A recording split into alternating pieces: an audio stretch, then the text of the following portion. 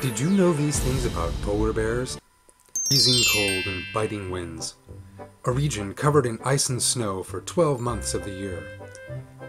Polar bears survive under these very difficult conditions.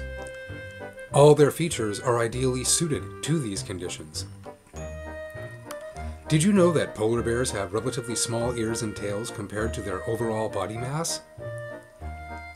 Polar bears have very small ears and tails. Mart, polar bears have very small ears and tails. In this way, possible heat loss through surface blood vessels is reduced to a minimum.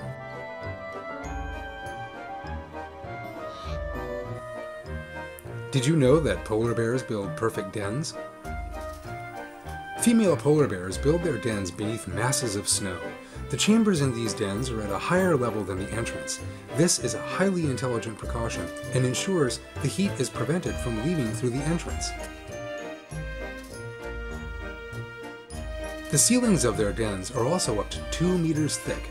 This precautionary measure serves as an excellent insulator and keeps the den warm. There is only one explanation for this intelligent behavior on the part of polar bears. It is Allah, the infinitely merciful and loving, who causes them to build their dens, who has them follow flawless plans, and who protects and shelters them. Allah reveals this as follows in a verse I seek refuge in Allah from the accursed Satan.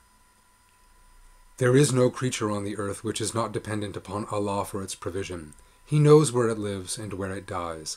They are all in a clear book. Surah Hud 6.